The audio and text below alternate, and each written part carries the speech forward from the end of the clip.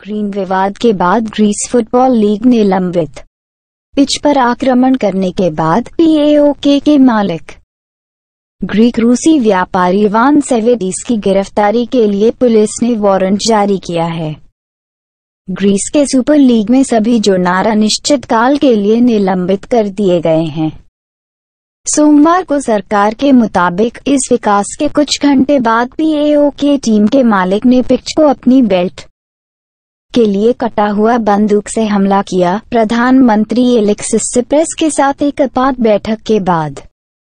खेल योर्गोस वसलीदीस के उप मंत्री ने संवाददाताओं से कहा, हमने चैंपियनशिप को निलंबित करने का फैसला किया है। वसीलिडिया ने कहा, यह नए रूपरेखा के बिना फिर से शुरू नहीं होगा। वो सिलिडिया ने कहा सरकार यूरोपीय यूरोपीय संगठन यूएफए के करीबी संपर्क में है।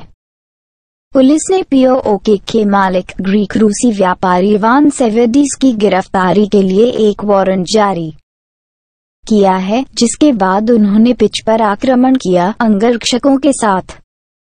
एक नब्बेवे मिनट का नाबालिग लक्ष्य पर रेफरी का सामना करने के लिए एक शीर्ष ए के एथेंस के खिलाफ।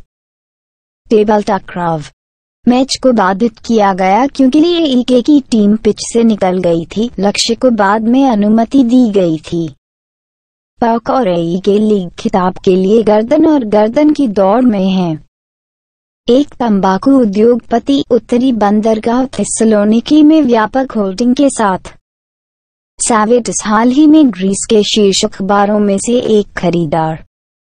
इथनो सुनहे से पास का राजनीतिक सहयोगी माना जाता है।